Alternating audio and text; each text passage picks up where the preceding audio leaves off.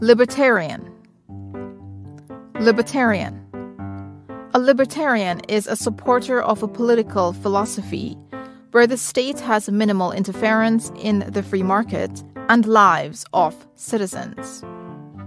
For example, his debate was based on a libertarian perspective. They believed this policy would threaten the libertarian society that they lived in. They embraced a libertarian respect for freedom of privacy.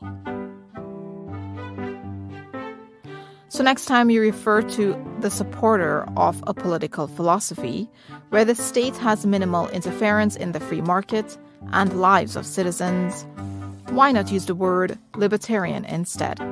Hit the like and subscribe buttons for more videos like this.